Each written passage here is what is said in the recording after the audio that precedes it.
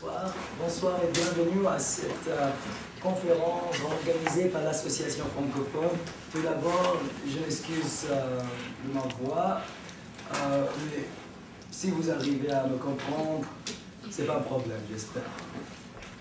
Aujourd'hui, on est avec euh, Ludovic Mohamed Zahed. Ludovic Mohamed Zahed est né à Alger.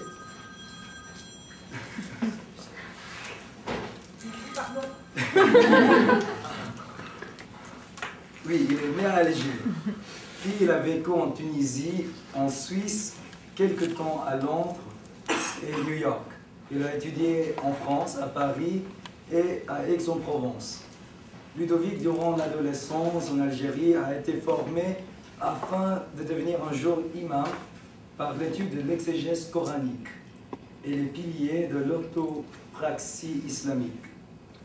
Il est aujourd'hui maître de psychologie cognitive, diplômé de l'école normale supérieure en sciences cognitives. Actuellement doctorant en anthropologie du fait religieux à l'école des hautes études en sciences sociales euh, sur, sur le thème de l'islam et l'homosexualité, qui est aussi le thème de notre discussion de ce soir et des trois jours. Il est aussi doctorant en psychologie sociale des religions. Il a été fondateur et porte-parole de l'Association des homosexuels musulmans de France, HM2F. Il a été fondateur de la première association des jeunes zéro-positifs de France. Il est également président fondateur de l'Association des enfants du sida et fondateur et porte-parole de l'Association des musulmans progressistes de France. Il a été consulté en tant qu'expert auprès de la Cour de justice en Grande-Bretagne en 2002 et du Sénat français en 2013.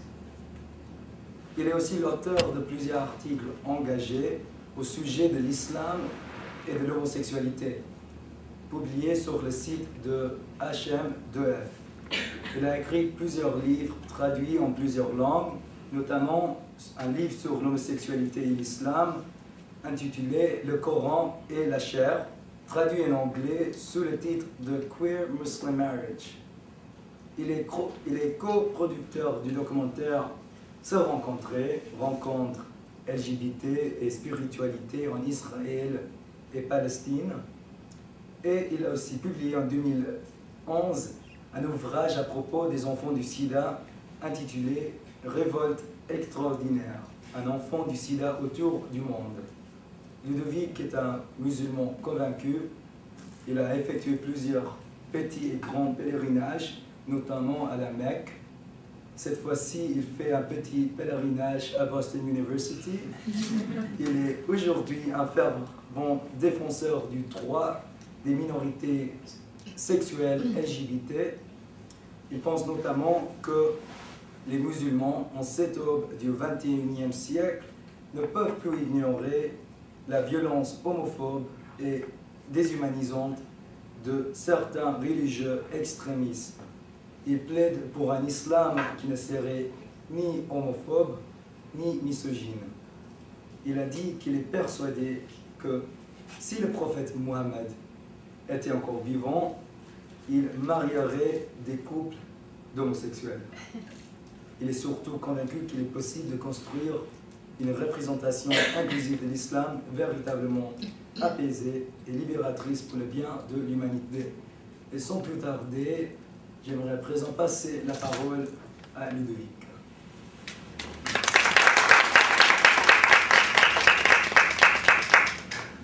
Merci Seyfou, merci à l'Association des francophones de l'Université de, de, Boston euh, de m'accueillir aujourd'hui, de parler d'un sujet qui est très euh, minoritaire mais qui est très important parce qu'il touche euh, à l'intersection de plusieurs problématiques euh, euh, qui sont directement liées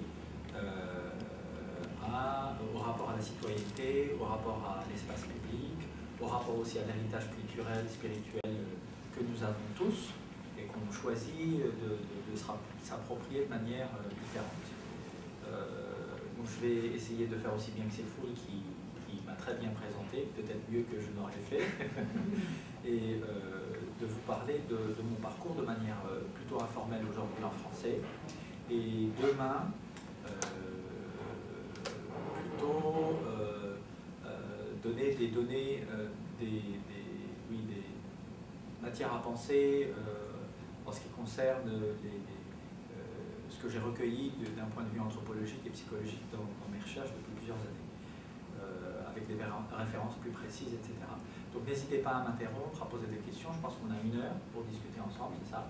Euh, je vais essayer quand même de vous raconter un peu mon parcours personnel, mais d'enchaîner ensuite sur pourquoi est-ce que j'en suis arrivé à ces conclusions aujourd'hui. C'est un peu ce que j'ai fait dans mon bouquin qui s'appelle Le Coran et la chair, oui, euh, que je peux vous envoyer en PDF sans aucun problème, en français ou en anglais. Euh, d'ailleurs, je ne sais pas si je l'ai fait. Oui, oui, d'accord. Ah ben, c'est fou de vous vous les transmettre. Donc je suis, je suis né à Alger en 1977, euh, contrairement à ce qui est écrit au dos de la quatrième couverture de mon livre. Il m'enlève une année, c'est très bien, mais ce n'est pas, le cas. Euh, deux parents algériens, d'origine algérienne, donc avec des, lointaines origines, moyen-orientale, Iran, Syrie, etc. Donc, je suis né sous le prénom euh, Mohamed Lotfi, les prénoms Mohamed Lotfi, euh, et j'ai rajouté Ludovic quand j'ai pris la nationalité française à l'âge de 21 ans, je crois. Euh, parce que, bah tiens, oui, c'est vrai, bizarrement, j'ai fait un, voyage aux États-Unis, à San Francisco, pour apprendre l'anglais. je continue d'apprendre l'anglais. à l'époque, c'était mon plus grand voyage, un mois à l'étranger, j'étais très jeune, tout seul. Et quand je suis revenu en France, j'ai compris que j'étais français, grâce aux États-Unis. c'est bizarre, hein, parce qu'en France, c'était toujours Ah, mais tu es né où? C'est quoi ce prénom? L'autre fille, c'est un prénom de fille, un prénom de garçon. Je fais très efféminé quand j'étais gosse. Donc, euh, ça n'a pas beaucoup changé, vous pouvez le voir. Hein. On se demande toujours si je suis une fille ou un garçon. Et déjà à l'époque, je troublais le genre, comme ça, ça posait problème au lycée. On me traitait de PD, pardon l'expression, mais il faut dire les choses en début d'année. À la fin, j'étais copain comme cochon avec tout le monde, parce que je passais au-delà des préjugés, que ça me dérangeait. Enfin, c'était une souffrance, mais c'était une souffrance que je suis arrivé à gérer au fil des années. Donc on a quitté l'Algérie, j'avais un an, on est parti en Tunisie, vivre jusqu'à l'âge de 2-3 ans là-bas, c'est mes premiers souvenirs, avec euh, ma, nourrice. Et, euh, et ensuite on est arrivé à Paris je, vis à Paris jusqu'à l'âge de 14 ans, euh, avec voilà, toutes ces représentations qui s'entrechoquent. C'est quoi être un arabe en France? Je me pose vraiment les questions comme ça. C'est quoi être... Pour moi, ça commence par être musulman. Peut-être parce qu'il y a tout un, débat en Algérie à l'époque, c'est mon pays d'origine, j'y retourne régulièrement. Même quand on a une semaine de vacances, mes parents travaillent beaucoup, donc on y retourne souvent en Algérie. Mais pour moi, voilà, c'est s'intéresser à l'islam. Euh, l'islam, ce n'est pas qu'une recherche identitaire euh, au, sens, euh, au sens où on est perdu et on se cherche, mais c'est aussi ça pour moi à l'époque, donc à l'âge de 11-12 ans. Mais déjà avant, je me pose des questions sur ma sexualité, pas sur ma sexualité, mais sur mon genre, vu que la sexualité, comme on dit en psycho, est latente, on ne sait pas ce que c'est que la sexualité. homosexualité, j'ai aucune idée de ce que ça peut être à l'âge de 8 ans. Mais par contre, euh, mon frère, lui, sait très bien ce que c'est et est assez violent physiquement. Euh, euh, mon père est violent verbalement par rapport à ça.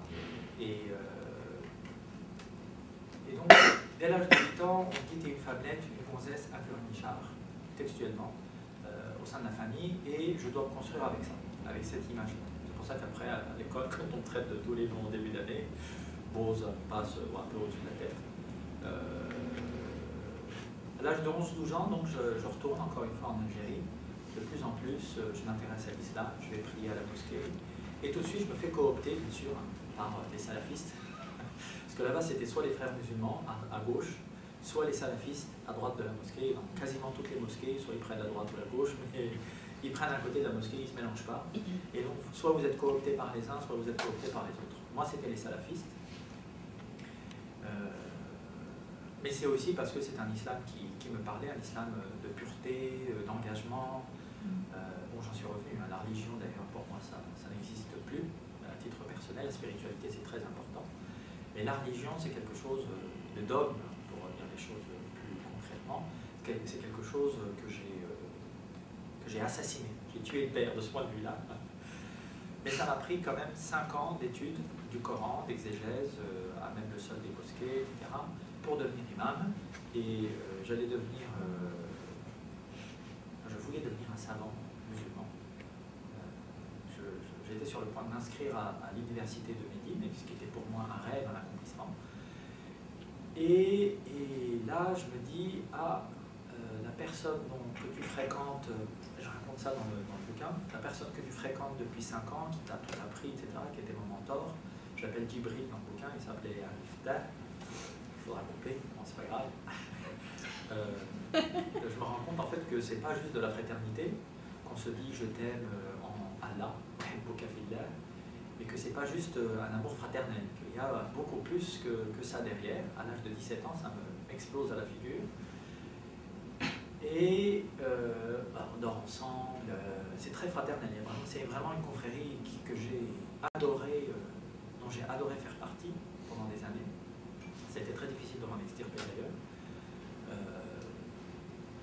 donc on dormait ensemble, on passait tout notre temps ensemble. Les parents nous voyaient beaucoup moins souvent que, que, cette, que cette, personne. Et comme mon frère, en fait, qui avait 9 ans de plus que moi, qui m'a beaucoup appris sur la religion, le Coran, etc. Et à l'âge de 17 ans, donc je sens que j'ai une pulsion sexuelle envers lui. Donc des ensemble. Et à ce moment-là, on en parle. On parle parce que je peux être honnête avec lui. Il m'avait déjà dit que j'étais une tentation. Enfin, il y a toute une théologie aussi de, l'amour des garçons et de l'interdit de l'amour des garçons hein, chez les salafistes. Euh, je, vous reparlerai un peu plus tard d'un autre point de vue si on a le temps. C'est vraiment très intéressant tout ce que j'ai découvert avec euh, les études historiographiques et mais donc, à l'époque, je suis terrorisé parce que je n'ai pas la culture, l'intelligence, la maturité pour déconstruire euh, cette problématique et dire maintenant c'est pas l'islam, c'est un islam qu'on propose. Et, être homosexuel, contrairement à ce que tu pensais il y a quelques années, contrairement à ce qu'on dans les mosquées, ça n'est pas une abomination, c'est pas dégueulasse, c'est juste naturel et bon à la. Euh, donc, à l'âge de 17 ans, quand je me rends compte de tout ça, avant de lui en parler, j'ai pendant 15 jours tous ces rêves et toutes ces euh, euh, pulsions plus que fraternelles et parfois même plus que sexuelles. Il ne s'est jamais rien passé avec personne, mais j'ai tout ça qui me remonte à, à la conscience pendant 15 jours. Je marche dans la rue, tout d'un coup, ah oui, tiens, ça il y a 3 ans. Pourquoi? Et puis je, suis sur le point de dormir et ah, tiens, oui, c'est vrai, j'ai eu ce rêve-là cette, euh, cette, relation à telle personne, et en fait c'était déjà le mot érotisme. Donc voilà, je me reconstruis mon identité ad hoc, a posteriori, et c'est impossible pour moi de rester musulman. Euh, les deux années qui suivent, je remonte à Paris, c'est la guerre civile en, Algérie, la guerre civile en Algérie, euh, les lycées français ont fermé, donc je suis, suis, pas en mesure de finir mes études, parce que j'ai étudié en français, donc même si ensuite j'ai appris l'arabe, c'est l'arabe du Coran, c'est l'arabe classique, ça n'a rien à voir avec les maths, l'arabe, etc., l'histoire, littérature, impossible. Euh, je remonte en France, à Marseille, je suis complètement perdu. Euh, j'ai trois poils sur le menton, une petite barbe d'adolescent qui euh, causait beaucoup de risques en Algérie parce qu'il y avait des, rafles comme ça dans la rue de, on ne voyait pas les jeunes qui se faisaient ramasser. Donc, c'était vraiment très dangereux d'être un musulman pratiquant en Algérie à l'époque. Et donc en France, malgré ça, un, mal-être énorme, euh, comme beaucoup d'adolescents ou de jeunes adultes que j'ai en entretien aujourd'hui. Et euh, au bout de deux ans, trop de souffrance, on m'a dit que tu vas mourir. donc il y a un moment, il va falloir que tu choisisses. Soit tu continues dans cette voie-là et tu vas te détruire parce que tu vas juste imploser, soit tu rejettes l'islam parce qu'on te dit que l'islam c'est ça, c'est ça, et donc euh, c'est pas possible. Soit c'est une supercherie, soit tu es malade. Sexualité, c'est une maladie. je ne me sentais absolument pas malade, je ne me sentais absolument pas un pervers. Euh, je me disais, euh, tout fait pour être quelqu'un de bien. Et j'ai compris 15 ans plus tard que j'étais quelqu'un de bien, parce que j'ai fait beaucoup d'associatives, pour essayer de me prouver aussi peut-être, pas seulement, mais aussi parce que j'essayais de prouver qu'on pouvait être quelqu'un de bien en étant quelqu'un comme moi. mais à l'époque, non, j'étais pas convaincu du tout. Donc je me suis forcé à abandonner l'islam, à abandonner la tenue traditionnelle, à me raser la barbe, ce qui était pour moi déjà un grand pas en avant. Ma mère ouvre la porte à un moment, elle me voit sans barbe, enfin sans les trois poils qui me servaient de barbe à l'époque, elle referme la porte, elle part, et elle me dira plus tard qu'elle n'a rien voulu me dire à ce moment-là parce qu'elle avait peur que je change d'avis ou elle voulait vraiment que je prenne euh, ce chemin-là jusqu'au bout euh, tout seul. Je me force à arrêter la prière parce que j'ai des vertiges juste à l'idée d'avoir une spiritualité quelconque. Je ne fais plus ramadan, etc. J'insulte Dieu matin, midi et soir. Ma mère qui me dit Ah oui, d'accord, mais bon, moment, on est quand même musulman, donc tu passes d'un extrême à un autre. Donc euh, oui, j'étais pas mal perdu. Mais incapable voilà, de, déconstruire et de reconstruire ces représentations euh, liées à l'islam et à l'homosexualité. Et à l'homosexualité, parce que je deviens l'homosexuel type, stéréotypé, les boîtes de nuit, les copains, les, sorties tous les soirs, etc. Parce que, j'ai besoin de rencontrer des pères, des, gens qui sont mes pères, mon miroir, euh, pour me, construire une identité que je ne trouve pas dans la littérature, que je ne trouve pas dans les films à l'époque, que je ne trouve pas, certainement pas dans les mosquées. Euh, c'est un gros problème pour euh, les adolescents, de moins en moins, parce que maintenant vous avez toujours l'homosexuel ou le couple homosexuel de service dans les séries télé, etc. On est content, euh, Hollywood nous a aidés de ce point de vue-là. Euh, donc je, me mets à étudier l'arabe, bon ça me plaît pas vraiment, j'adore ça, j'adore euh, l'histoire de l'Empire ottoman, j'apprends par cœur les cours, alors même que je n'ouvre même pas mes, bouquins. Et le prof me remarque assez rapidement et, et, me pose toujours des questions sur les dates et les noms des sultans qui sont imprononçables pour, les Européens, et je ne sais pas d'où ça vient, mais je, bois ces paroles. Mais malgré ça, je ne dois pas m'engager dans cette voie euh, linguistique-là. Je me dis que j'ai plus à faire peut-être ailleurs, même si j'aimerais y revenir, j'y suis revenu plus tard. J'étudie la psycho, qui est une grande passion. Euh, je me mets à travailler euh, à mi-temps et à étudier. C'est pour ça qu'à presque 40 ans, je fais encore mes, doctorats et que je, suis sur le point de, présenter ma thèse, peut-être ma thèse de psycho plus tard, mais ça m'a pris du temps, puis euh, j'ai entamé une psychanalyse aussi à l'âge de 25 ans. Tout ça aidant, je, je suis parvenu à l'âge de 27-28 ans à repenser, un peu avant l'âge de 30 ans, à la spiritualité, en disant, me encore, je suis sur le canapé, euh, chez moi, à Sevran, en région parisienne. et je dis à ma sœur, je ne suis pas malheureux, mais si c'est ça la vie, je ne suis pas heureux. Il y a quelque chose qui donc euh, on fait un pèlerinage au Tibet, à l'époque ensemble. Elle me soutient beaucoup, c'est la première personne euh, à qui j'ai dit que j'étais homosexuel. J'avais 17 ans, elle avait 12 ans, mais elle était très, très en avance sur son âge, elle avait 3 ans d'avance. Euh, donc mais elle me soutenait en tout cas. on était très proches. on fait ce, pèlerinage, ça me permet d'une part de, de me reconnecter à la spiritualité, qui est très importante pour moi et dont j'essaie de couper pendant 7 ans, ça n'a pas marché. Et j'en suis arrivé à me, à me poser la question de savoir pourquoi est-ce qu'il faudrait euh, le séparer d'une, comme essayer de me couper un bras, en fait, séparer d'une partie de moi-même, qui m'a beaucoup parlé pendant des années, qui m'a beaucoup apporté euh, d'un point de vue philosophique, éthique, etc., en termes d'inspiration, d'exemple, d'exemplarité, etc. Euh, et le second élément, c'est que le Tibet, le, bouddhisme, me permet de voir qu'il y a des homophobes et des misogynes ailleurs que dans l'islam. voilà, vous avez des moines qui vous disent euh, les femmes ne sont pas parfaites. Mais oui, les pauvres sont réincarnées en femmes parce qu'elles ont fait des mauvaises choses dans une autre vie. Donc si elles travaillent très dur euh, durant cette vie, peut-être qu'elles seront des hommes, mais ensuite des saints dans une autre vie très très très future, très éloignée je me dis, ça, ça sonne vraiment très très pas bien. et c'est écrit nulle part dans leur texte, bien sûr, c'est toujours la même histoire. Euh, l'homosexualité, alors ça ne parle pas, c'est contre nature. bien sûr, c'est pas tous les bouddhistes, mais en tout cas les bouddhistes auxquels j'ai eu affaire, traditionnels, patriarcaux et, natalistes, des moines bouddhistes bizarres. Et, voilà, très dans l'encouragement de la, reproduction humaine, de, ce que Eric Fassin, un sociologue euh, français, euh, qualifie ou décrit comme euh, le lien que ces religieux dogmatiques établissent entre la spiritualité et, le sexe, Dieu et le sexe, c'est la même chose pour eux, mais ça leur pose pas de problème. Il y a un truc qui ne colle pas, mais bon, c'est comme ça. Donc je me suis dit, il faut donner une dernière chance à l'islam. J'ai vraiment euh, vu les choses comme ça, je me suis dit peut-être que, effectivement, qu'il n'y a pas à garder, qu'il assez, d'assez près, qu'il faut euh, y retourner une dernière fois. C'était la bonne. Hein. Parce que depuis, j'ai appris une spiritualité, une pratique finalement euh, islamique, entre guillemets, mais ça aurait pu être n'importe quoi d'autre. L'essentiel, c'est qu'il y ait une pratique, qu'on se l'approprie, qu'on prenne de la distance, plus ou moins avec tel ou tel euh, héritage culturel. Ça, ça, m'intéresse beaucoup. Donc ça aurait pu être le bouddhisme, mais je me suis dit pourquoi apprendre une autre religion alors que j'en ai déjà que je connais vraiment plutôt très bien. Je me suis frotté aussi au, au Baha'i, qui est une religion euh, originaire d'Iran, très syncrétique, euh, qui, mélange, c'est pas un terme élégant, mais qui, voilà, qui allie la, philosophie des, des, trois monothéismes et même au-delà du bouddhisme, etc. Euh, un prophète qui est venu siècle,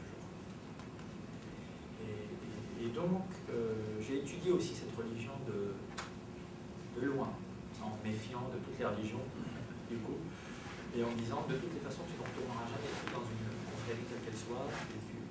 Aujourd'hui, je, pratique le soufisme, mais je n'ai jamais prêté serment à aucune confrérie soufisme parce que je ne dors pas. Euh, je fréquente, là je vais faire une présentation à Paris dans une loge maçonnique, qui est proposée, toujours refusé parce que j'en ai eu assez pour plusieurs vies, je crois, de, confréries et d'organisations comme ça. Pas sectaires, mais quand même assez fermées. Codifiées, etc. Euh, donc je, prends le téléphone, j'appelle les Bahis, un temple euh, à Paris, et, donc on, parle de la religion, tout est extraordinaire, tout est magnifique, c'est égalitaire, c'est paradis sur terre si on devient Bahi, comme avec l'islam, pareil. Euh, sauf que quand je pose la question de l'homosexualité, Là, on est gêné. Au bout du fil, la, femme qui parle, euh, qu'est-ce que vous entendez par l'homosexualité Il dit, ben, voyez, euh, être en relation avec une personne homosexuelle. Ah, ça, ça c'est interdit. Je dis, merci, vous venez de m'économiser plusieurs années de conversion à votre religion. Au revoir. Et, donc, c'est à, partir de ce moment-là que je dis, voilà, il faut euh, peut-être me réintéresser à l'islam d'un point, de vue spirituel et certainement pas d'un point de vue dogmatique. J'en suis à, ma dernière année de, un peu avant 30 ans quand même. Hein. J'arrive presque au doctorat, donc je suis à l'école normale supérieure qui est une école euh, élitiste, euh, un peu hein, sur les bords, faut pas dire, euh, alors on fait comprendre à l'école normale supérieure, et des gens de ma génération, hein, 10 ans plus que moi, donc l'autre de ma génération à l'époque, une quarantaine d'années, l'âge que j'ai aujourd'hui,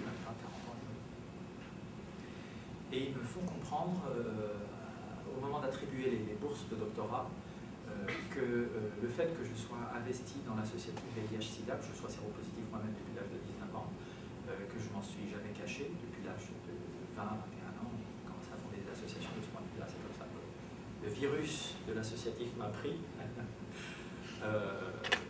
on me fait comprendre que j'ai ramené un virus informatique au sein de l'école. Ça va contaminer la réputation, euh, voilà, avec une terminologie très VIH-Sida. La, la, réputation du laboratoire dont je fais partie et qu'on ne peut pas me prendre mon doctorat comme ça, à la veille de l'attribution des bourses. C'est-à-dire qu'il n'y a pas d'option B. Pas de plan B, c'est au revoir. Et au bout de 15 jours, le sous-fifre du sous-fifre de la chef vient tous les matins pendant 15 jours à 8h du matin. Alors qu'on ne voit pas avant 11h, parce que c'est un docteur et il est sur le point de professeur, il n'a pas besoin d'être là à 8h du matin à faire des antivirus lui-même mais juste pour dire virus de Ludovic, donc harcèlement. Et, euh, et à un moment, c'est les autres doctorants qui viennent me voir, Qu'est-ce qui se passe? On ne comprend pas de quoi ils parlent. Non, écoutez, moi j'ai compris, il n'y a pas de souci, je vais aller leur parler parce que. Et là, je, leur mets un peu les points sur les i quand même en leur disant Écoutez, j'ai compris de quoi il s'agit. Il n'y a pas de souci, je vais partir, mais il faut juste me donner mon diplôme parce que sinon je ne peux rien faire. Et j'ai investi des années pour rentrer dans cette école. Et je ferai autre chose. D'ailleurs, je fais pense, un truc qui me correspond beaucoup plus aujourd'hui, euh, qui est l'anthropologie, la psychologie, toujours dans la même ligne, et pas de, des neurosciences que je faisais à l'époque. J'ai étudié les implants cochléaires euh, pour les sourds et les malentendants, un truc qui me passionnait à l'époque, la communication en machine, l'interprétation de machine. Mais bon, c'était peut-être, euh, c'était quand même compliqué, et puis le milieu dans lequel j'évoluais n'était pas propice aux gens triplement, quadruplement minoritaire, on en parlait ce matin au petit déjeuner. Donc je vois ma prof, la chef, au-dessus de tous les sous-fifres, futur professeur, etc., qui devient rouge, écarlate, qui ne sait pas quoi dire parce est gênée, mais elle a participé elle-même au harcèlement, parce qu'elle était enceinte, donc elle était absente pendant 4-5 mois. Son remplaçant a refusé de me, superviser, donc en gros, j'ai rien fait pendant ce semestre. Et quand elle revient, elle me dit Ah, tu es encore vivant, toi. Elle tourne les talons, elle repart. Bon, j'en rigole aujourd'hui, mais à l'époque, j'en ai pas large. Mm. Mais euh, j'ai pas craqué parce que ça faisait des années que j'avais genre de choses, de, tout un tas de points de vue différents. Islam, arabité, homosexualité, séropositivité. Donc, bon, je me suis dit, on va s'adapter une fois de plus. Et, donc, j'ai passé mon second semestre à monter euh, un, projet pour une, association que j'avais déjà fondée de jeunes séropositifs à l'époque. Et euh, c'était un tour du monde pour les enfants du sida. Donc, on a fait un documentaire, on a écrit un bouquin, on a fait une étude euh, sur ces enfants, la façon dont ils sont pris en charge dans 29 pays du monde. On a eu, enfin, c'était extraordinaire. On a organisé une semaine de vacances pour ces enfants qui sont venus d'Algérie, d'Inde, d'Europe de l'Est, etc. Bon, j'ai pas perdu mon temps, deux ans. Mais euh, ensuite, euh, je suis euh, revenu à la réalité, peut-être, je sais pas, je pense que c'est pas la réalité. Et là, je me suis dit, j'avais repris une pratique spirituelle pendant ce tour du monde. J'ai visité plusieurs pays musulmans, dont l'Iran, c'est pas une référence malheureusement, sauf une référence stéréotypique de l'extrémisme religieux, du dogmatisme et puis du totalitarisme qui, pour moi, n'a rien à voir avec la religion, la spiritualité en tout cas. Euh, mais c'était très vivant, c'était très beau, c'était euh, mes ancêtres aussi qui viennent en partie Zaïdat, j'ai visité la, ville de mes ancêtres, euh, le Pakistan, qui est un pays magnifique. pour eux, ça doit être assez horrible de vivre dans des conditions pareilles pour certains d'entre eux, mais pour moi, c'était vraiment, ça me parlait beaucoup. Et vraiment une très belle culture, enfin, c'était magnifique. J'ai visité le Caucase aussi avec des gens qui sont complètement, complètement amnésique, qui n'arrive même pas à faire la profession de foi, qui pour les musulmans est le, premier des piliers d'islam, c'est-à-dire euh, je témoigne qu'il n'y a d'autre Dieu qu'Allah et que Mahomet est son messager. Ils n'arrivent même plus à dire ça. Des gens de 80 ans hein, que j'ai rencontrés dans le train, habillés de manière traditionnelle, donc des, caucasiens, mais qui sont complètement euh, brainwashed, c'est fini. Il n'y a plus de culture euh, islamique. et ils disaient Allah Mohamed, Allah Mohamed, tout C'était, alors comme ça, le de pouvoir comparer avec ce qu'on vit en France, qui est quand même euh, difficile en ce moment avec le racisme, l'islamophobie, bref, euh, la crise économique surtout, c'est ça la cause première, je pense, mais qui n'était pas si terrible que ça. Par rapport à la guerre civile en Algérie, euh, le Caucase complètement lavé du cerveau, et l'Iran très très vivant comme islam dans les mosquées avec des fontaines, des tapis, des, gens qui vraiment fréquentent ces mosquées, mais un islam super hyper dogmatique quand même. ça m'a permis quand même de me, voilà, de voir toute déclinaison, plusieurs déclinaisons, un continuum de ce qu'est l'islam, ce que les musulmans portent en eux, les musulmanes portent en, eux et en elles comme représentation très diverse finalement du rapport à la religion. Quand je reviens en France, je me dis je suis prêt à porter ça sur la place publique, avec par le biais de l'association. Je me dis euh, tu es fou, homosexuel musulman ça ne va jamais prendre, personne ne va s'intéresser à ça. Euh, et en fait, euh, c'est tout l'inverse dès que je fonde l'association homosexuelle musulmane de France en 2010, euh, c'est un boom médiatique, les gens s'intéressent tout de suite à ça. Euh, le milieu associatif LGBT et musulman nous demande de participer à leurs activités, mais aussi à l'international, on a en Afrique du Sud, euh, à Londres, etc., des associations qui existent anglo-saxonnes. En France, on se demande encore si le genre existe, la théorie du genre. Mm. Donc forcément, on est un peu en retard sur ces questions-là mais euh, les anglo-saxons, c'est un, mot qu'on peut apprécier ou pas, mais euh, avec cette, voilà, cette, culture de la communauté, alors ça a des bons et des mauvais côtés, j'ai l'impression quand même que quand on est pas de communauté d'appartenance, il faut la créer, sinon on est vraiment, vraiment très très mal. Euh, mais du coup, ils ont créé ces communautés beaucoup plus tôt que dans les pays francophones, aussi bien en Afrique francophone, Afrique du Nord, et, qu'en Europe, en, Belgique et en France. Donc euh, du coup, on est invité par ces associations, on travaille beaucoup, hein, il y a beaucoup de travail. Je me souviens que j'ai travaillé pendant un an à plein temps. 7 jours sur 7, j'étais habitué, donc euh, ça ne posait pas de problème. j'ai quand même, euh, euh, j'avais quand même un désir de, construire, de produire de la matière intellectuelle, d'être un intellectuel et pas juste un, citoyen engagé, un activiste, un militant, des termes que j'apprécie pas. Activiste, c'est très hyperactif, parle dans tous les sens, il fait n'importe quoi.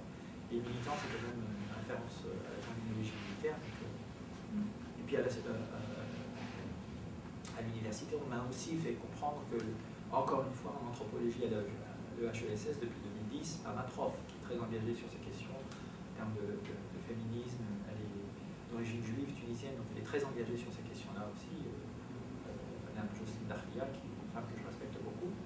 Et, elle me disait qu'effectivement, ça lui posait, même à elle, problème d'avoir un étudiant comme moi qui était trop peut-être engagé sur la scène politique. à deux doigts, là encore, de me demander de choisir entre l'un et l'autre. Bon, j'ai serré les dents, euh, ma prof m'a soutenu, et donc c'est passé. Euh, j'ai pu passer le cap des 2-3 ans de formation universitaire, et donc ensuite, j'ai vraiment vu hein, le respect s'établir dans le regard des, autres professeurs euh, universitaires qui, arrêtaient de me chercher des mois parce qu'ils ont compris quelque part que c'était plus possible de me tordre le cou. Alors je leur posais problème parce que je, faisais bouger tellement les lignes, moi, mais aussi tous les gens qui étaient dans l'association, parce que sans, les autres, on est personne dans une association, forcément. Même si j'étais le plus visible. Là maintenant, je ne suis plus en France, donc je ne suis plus responsable de ces associations qui ont citées. Euh, je suis responsable euh, encore pour quelques mois d'une confédération qu'on a créée à partir de 2010 qui s'appelle CALEN, C-A-L-E-N.eu. Vous pouvez voir le site internet avec tout un tas de publications, de références, de vidéos aussi, de, conférences. Euh, organisé depuis 2010 euh, universitaire ou, associative. Donc voilà, je, peaufine cette construction identitaire qui m'a pris 20 euh, ans, depuis le temps où j'ai commencé à poser ces questions-là. Qui je suis, qu'est-ce que je suis là, question existentielle, euh, dont parlait Denis Provencher hier, qui, sont très, très solidement ancrés dans l'engagement citoyen en France. C'est au-delà du coming out euh, à l'anglo-saxonne ou à l'américaine, peu importe le terme qu'on voudrait utiliser. C'est vraiment un rapport à soi, un rapport à autrui qu'on essaie de cultiver. Et donc, euh, de ce point de vue-là, effectivement, mon bagage universitaire en, France m'a beaucoup aidé. Mais en même temps, voilà, il y a le côté négatif, comme partout, comme dans tout système, qui a failli euh, me coûter ma formation universitaire à plusieurs reprises. Excusez-moi, je peux vous poser une question par rapport à ça. Qu'est-ce qui lui posait quel est le problème que ça lui quel problème je comprends pas le problème que ça lui posait en fait cet activisme. Enfin je m'excuse d'utiliser ce mot puisqu'il ne vous plaît pas mais euh, à défaut d'un meilleur mot. Qu'est-ce qui la gênait par rapport à ça? Je comprends pas. Alors elle rien.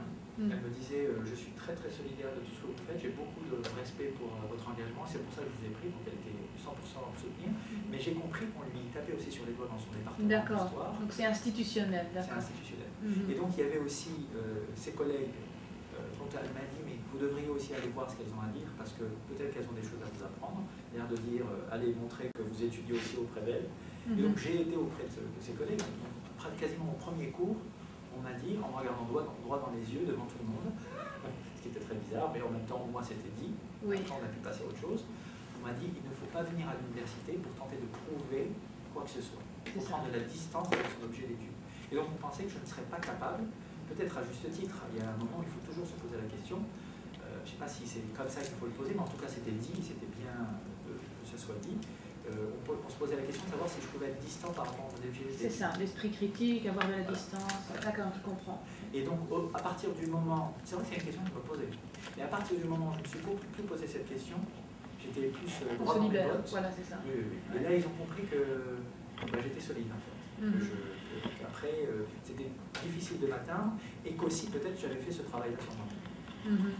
Donc j'ai passé ce cap et, je, ça m'a beaucoup servi en fait. Mhm. Mais je pense que c'est.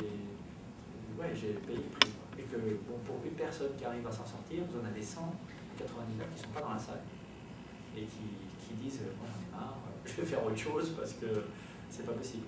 Et on m'a dit, alors c'est toujours pareil, mais on m'a dit euh, dix fois, hein, euh, à l'université américaine, ici, ailleurs, aux États-Unis, on m'a dit euh, que c'est quelque chose, un profil activiste euh, intellectuelle qui est plus recherchée aux États-Unis. Mhm. En France, on a plus cette, euh, cette représentation cartésienne du je pense donc je suis, mais si je pense pas, si je suis dans l'activisme, je ne suis plus. Donc c'est un peu cette difficulté-là, ça change beaucoup. Hein. ça change beaucoup. Moi je vois qu'à l'université, vous avez de plus en plus de gens en France qui sont, qui sont engagés. Elle travaille maintenant sur la, les révolutions arabes de la Tunisie. Mhm. Et c'est un, un, sujet qui est particulièrement engagé. Donc, euh, je pense qu'il y a de plus en plus de gens qui, qui, qui, osent euh, passer le, cap. Euh, mon prof, mon autre prof, celui de, qui supervise ma thèse de psycho, lui m'a dit je suis professeur, et c'est le seul professeur de psychologie des religions en France. Il m'a dit j'ai attendu d'être professeur pour parler des religions d'un point de vue psychologique parce qu'il sent qu'il y a un blocage par rapport à ça. pas spécialement parlé par rapport à la laïcité, etc., l'histoire de la France avec euh, ce rapport à, l'Église et toutes les églises et mm-hmm. voilà, peut-être aussi à la bourgeoisie parce que c'est pas juste euh, c'est pas juste euh, le côté religieux, c'est aussi le côté conservatif, on essaie d'aller au-delà de ça, révolution sociale qu'on fait très bien en France, je pense, mais c'est on rame à quatre bras. Donc, euh, non, mais ça évolue. Moi, j'étais content. Mais, euh, bon, voilà. Après, on est parti avec. Euh, parce que je me suis marié en Afrique du Sud, à force d'être invité là-bas, j'ai fini par rencontrer quelqu'un qui est sud-africain, donc qui est converti à l'islam depuis 15 ans, qui a. on est parti vivre ensuite en France ensemble pendant 3 ans, et même après la loi sur le mariage pour tous, c'était difficile de nous projeter euh, d'avoir des enfants, etc. Donc euh, on s'est dit il vaut mieux avoir nos enfants en Afrique du Sud où il y a une loi qui encadre ces démarches d'adoption ou de mère porteuse, etc. depuis 2006, ce qui est quand même euh, hallucinant parce que la France, au niveau de la population, est plus en avance sur ces questions-là, au niveau de l'éducation, de la reconstruction des préjugés. Et au niveau de la loi, on a mis beaucoup plus de temps à adopter des lois inclusives de ce point. En Afrique du Sud, c'est un peu l'inverse. Les gens ont beaucoup moins accès à l'éducation, c'est très cher, c'est payant les gens ne sont pas encore émancipés économiquement, surtout les gens qui font partie de la majorité, c'est-à-dire les noirs, les métis, les colored, comme ils disent, ils tiennent beaucoup à ce terme-là. Même mon mari, euh, en France, euh, il était aussi comme noir, et pour lui, moi je ne comprenais pas, je trouvais que c'était quand même raciste, mais lui trouvait que c'était raciste de le considérer comme, comme un noir, parce que pour lui c'était important d'être euh. Moi je lui disais, mais tu sais, moi je suis nord-africain, j'ai la peau blanche, mais je suis africain, je suis noir à l'intérieur. Et pourtant, euh, je, comprends parce que je trouve ça bizarre qu'on me considère comme un Européen, parce que c'est pas mon identité, c'est pas une question d'identité euh, plus ou moins valorisée, c'est pas moi. Mais à un moment, ça ne me, torture pas. Quoi. Mais après, j'ai compris que pour lui, c'était un choc culturel. Il venait à peine de. Euh, il a appris le français très rapidement aussi, et, pour lui, c'était une découverte qui, était difficile à intérioriser. Bon, on est retourné en Afrique du Sud là pour je, fais une année de visiteur à Stellenbosch, à l'université de Stellenbosch.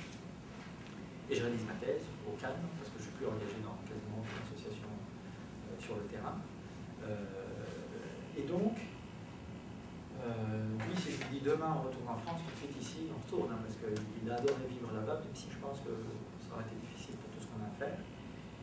Mais voilà, ça a été, je pense, de trouver quelqu'un, de voir mes parents revenir vers moi une fois que je leur ai dit à l'âge de 21 ans que j'étais homosexuel, euh, de revenir vers moi et de me dire on a compris que tu, n'étais pas malade et que ce n'était pas une passade, mais que tu seras comme ça toute ta vie, euh, ça leur a pris 10 ans quand même. Hein. Mais pour les Nord-Africains euh, qui n'ont pas de bac, qui ont toujours travaillé, qui sont cultivés, hein, qui parlent plusieurs langues, mon père surtout, mais voilà, ils n'ont pas accès à ce genre de culture académique-là. C'était quand même un, gros sacrifice, et d'ailleurs ils l'ont payé parce que une partie de la famille n'en parle plus, une partie de la famille m'a menacé, enfin bref, un imbroglio comme ça, c'est culturel. Euh,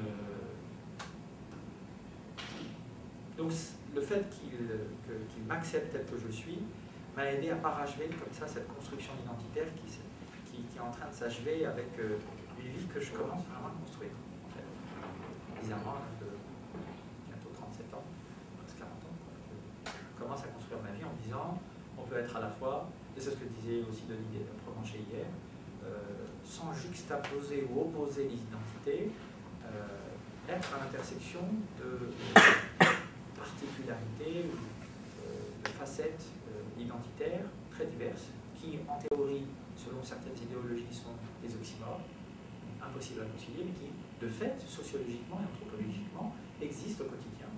Et donc quand vous avez des gens qui en face de vous, dites, vous disent vous ne pouvez pas être homosexuel et musulman, euh, vous ne pouvez pas être musulman parce que vous êtes homosexuel, c'est une religion homophobe, barbare, etc., etc. Donc vous leur dites si, parce que sociologiquement ça existe. Après que vous n'arrivez pas à concevoir, c'est votre problème, mais moi je respecte. Moi j'ai l'impression qu'on ne peut pas être homophobe et musulman et se revendiquer d'une foi spirituelle, universaliste, inclusive, etc.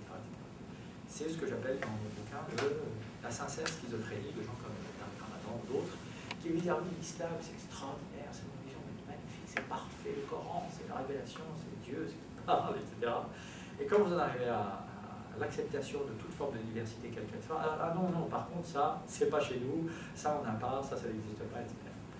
Donc, euh, c'est mon travail aujourd'hui de, finir mon doctorat, mes doctorats j'espère, de publier euh, ce travail et euh, continuer de découvrir des références bibliographiques. bon, on a encore combien de temps?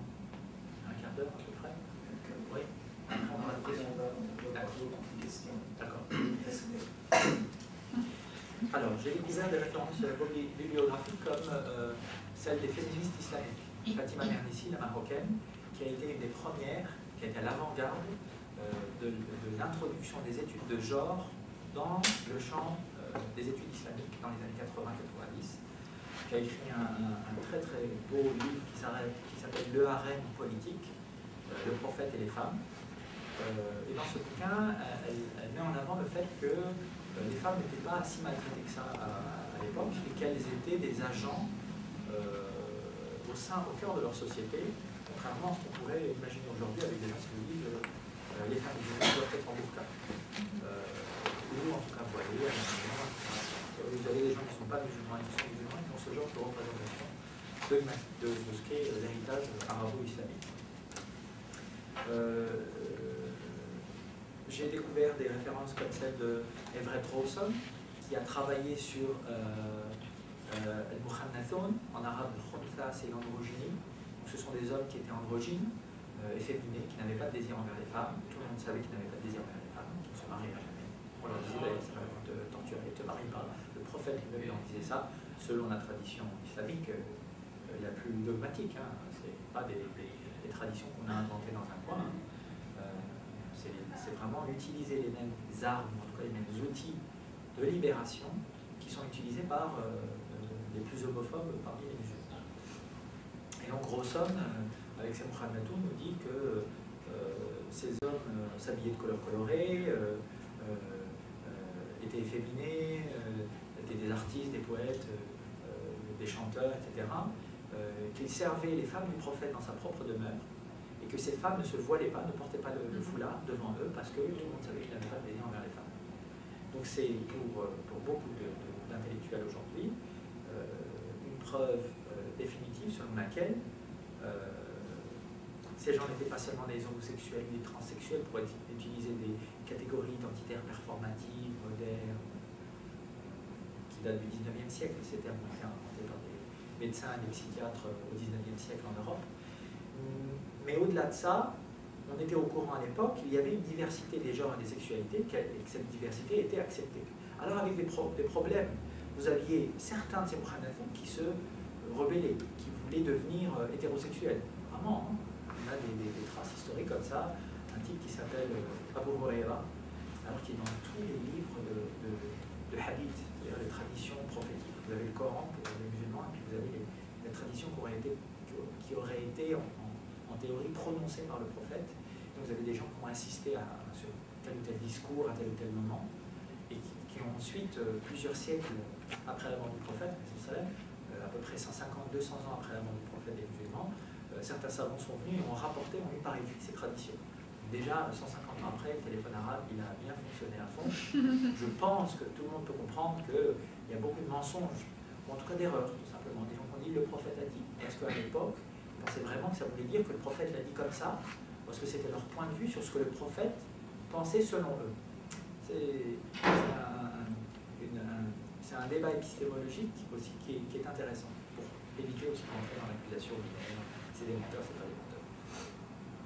Je pense qu'il y avait quand même beaucoup de menteurs parmi eux, dont ce Abu Huraira, il faut le dire quand même. Hein, euh, c'est pas moi qui le dis, c'est Aïcha, la femme du prophète. Euh, elle disait de, lui il y a beaucoup de gens qui mentent à propos de ce que le prophète a dit, et Abu Huraira, ce type-là, est de, ceux qui mentent le plus. Euh, c'était un voleur, donc Omar, euh, le, le, premier, je calife de l'islam, est venu un jour à Bahreïn, Bahreïn qui est donc cette, cette île qui est entre l'Arabie Saoudite et l'Iran, il y a eu aussi quelques troubles au moment des, révolutions arabes, et donc pour une, visite de routine, on dirait aujourd'hui, il, Abu Huraira est donc gouverneur de, cette île, il le destitue parce qu'il dit tu t'es enrichi sur le dos de la population. Tu as des chevaux, tu as des trésors, tu as des femmes. Euh, euh, donc euh, tu t'es enrichi sur le dos de la population, je te destitue, tu, tu es un voleur. Et, et, un autre détail vraiment très intéressant, c'est que ce, type qui a fini par se marier avoir des enfants était ce qu'on appelle aujourd'hui un homosexuel refoulé, on dirait ça comme ça des catégories encore une fois très très modernes et c'est complètement anachronique, mais c'est pour faire comprendre les choses.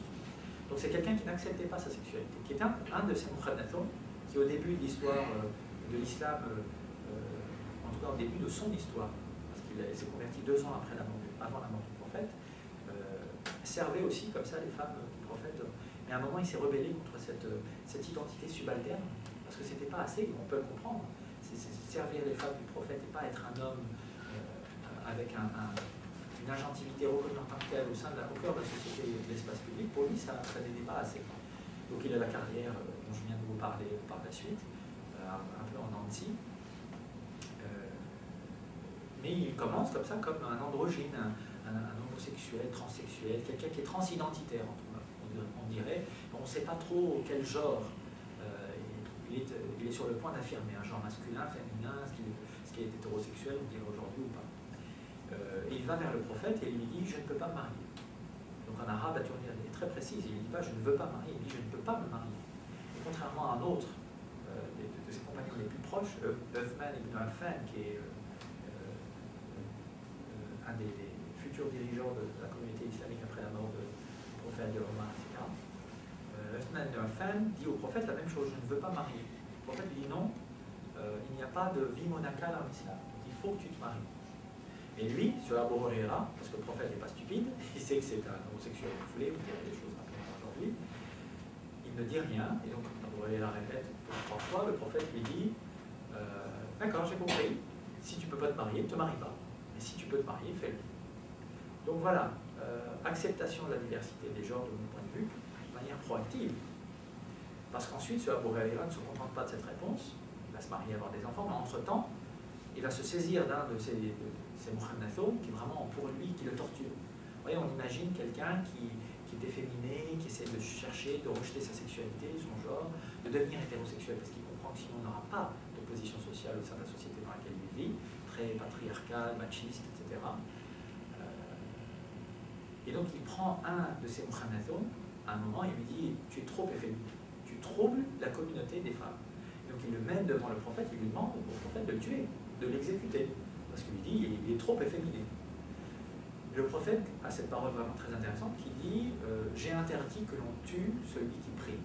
donc, ça, c'est vraiment très beau parce que la prière pour les musulmans, c'est le symbole de, toutes les, communautés religieuses, mais surtout pour les musulmans, je pense qu'il y a ce symbole même physique de cette prière tous ensemble, alors avec les femmes qui prient euh, derrière, même si pour moi, je pense que les femmes peuvent être imams, prient euh, mélangées, comme c'était le cas à la Mecque aux premières années de l'islam, avant que l'islam, selon Fatima Nanesi, devient de plus en plus euh, politisé et, sujet à négociation euh, sociale.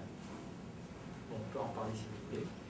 Euh, pour finir sur Abu Huraira, ce, personnage vraiment très très controversé, c'est lui qui, a des, qui rapporte des hadiths sur les femmes qui ont en enfer plus que les hommes, comme ça, texto, Aïcha, la femme du prophète, encore une fois, elle dit Ah oui, ça y est, maintenant vous nous dites qu'on va aller en enfer, parce qu'on n'aurait pas les animaux, parce qu'on ne fait pas ceci, parce qu'on ne fait pas cela. Que des excuses comme ça, très machistes, très dans le rejet de la féminité, de sa propre féminité, et la féminité des femmes aussi.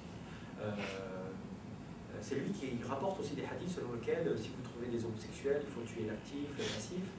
Voilà, des hadiths qui sont apocryphes, voire faux, homophobes, et c'est le seul à les rapporter, c'est quand même très particulier.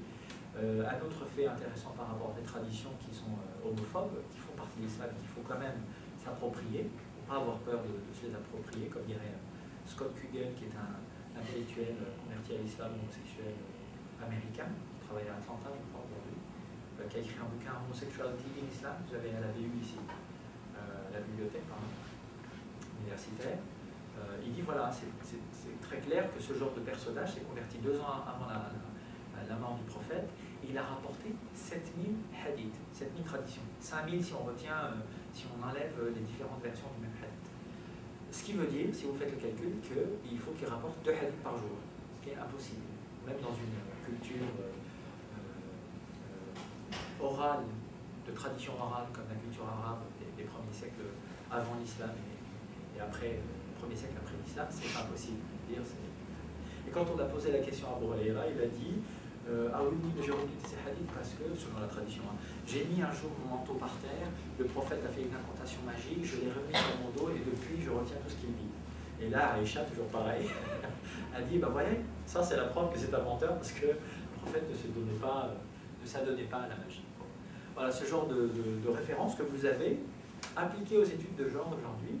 Euh, c'est très intéressant parce qu'on arrive à se réapproprier de ce, point de vue-là, euh, que vous soyez universitaire ou, citoyen engagé, activiste, militant, peu importe, ou simple homosexuel adolescent dans votre chambre euh, à minuit en train de vous poser la question mon Dieu, qu'est-ce que j'ai fait pour devenir homosexuel?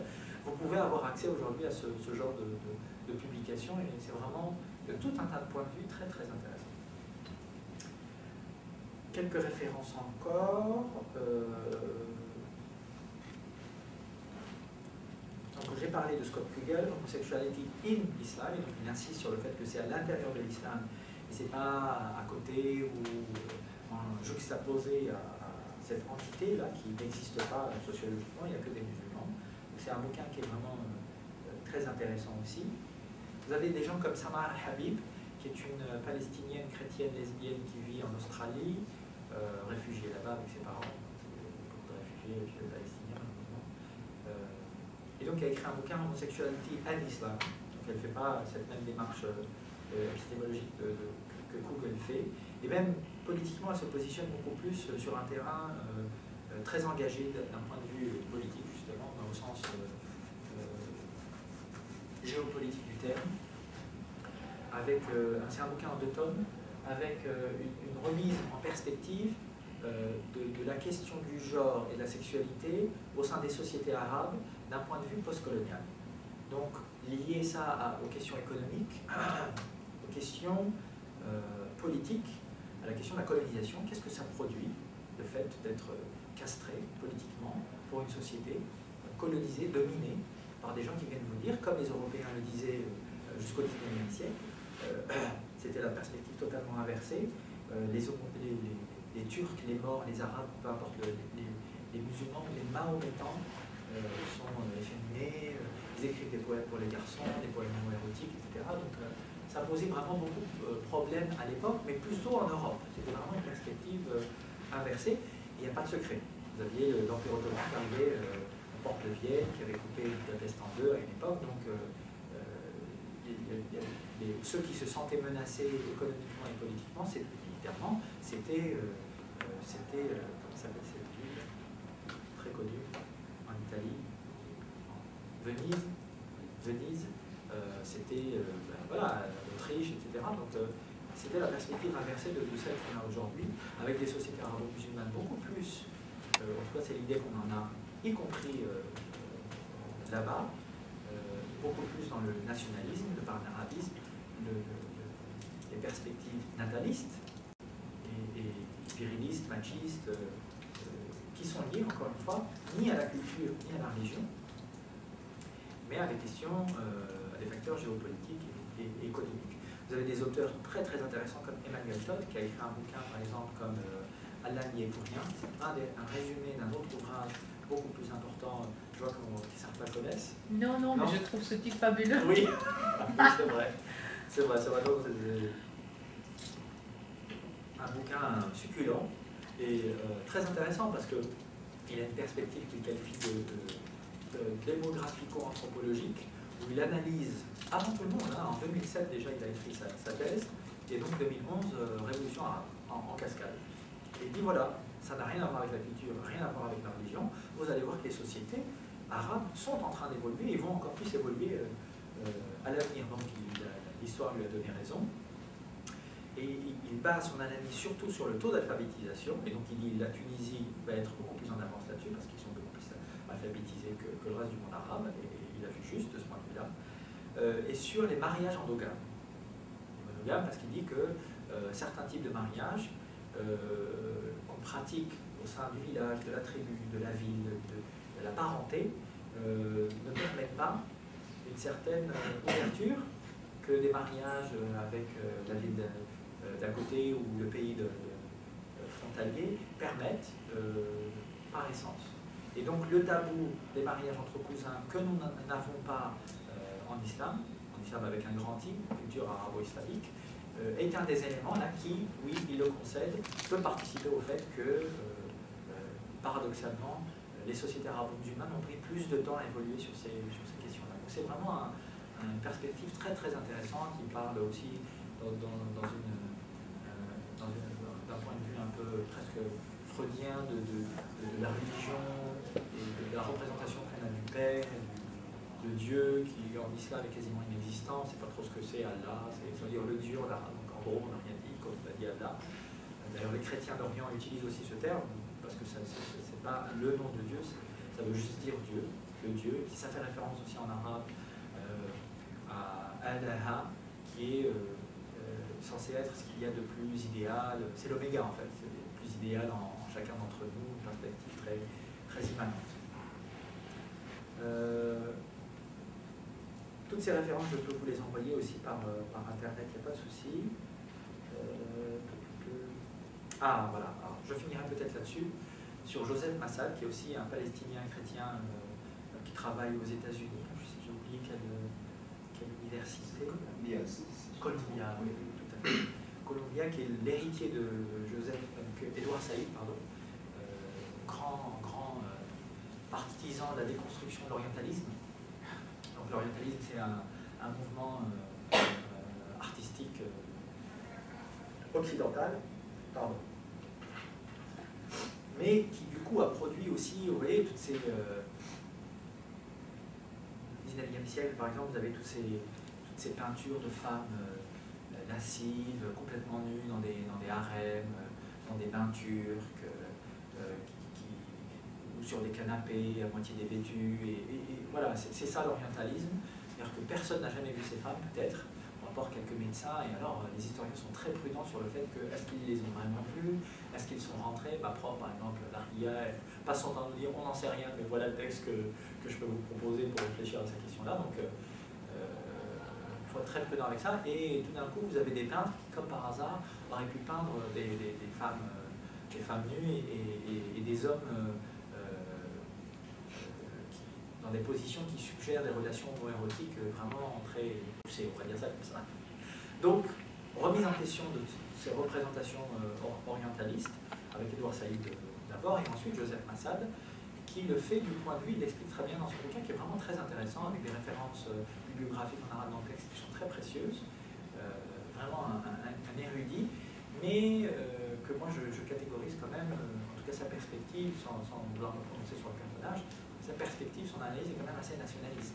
On sent vraiment qu'il parle beaucoup de, domination, de pénétration anale, de, ça, ça travaille, on sent que ça travaille, et que tout au long de son bouquin, il essaie de démontrer que euh, l'international gay, il appelle ça comme ça, les LGBT, les associations à travers le monde, luttent euh, pour imposer des identités lesbiennes, gays, bisexuelles, donc des identités performatives catégorielles, catégorielles épistémologiques, qui, n'ont rien à voir avec la culture arabo-musulmane, qui nous sont imposées depuis l'Occident et dont il faudrait se libérer, s'inscrire en faux contre ces, euh, catégories comme ça qui nous enferment dans, une culture qui n'est pas la nôtre.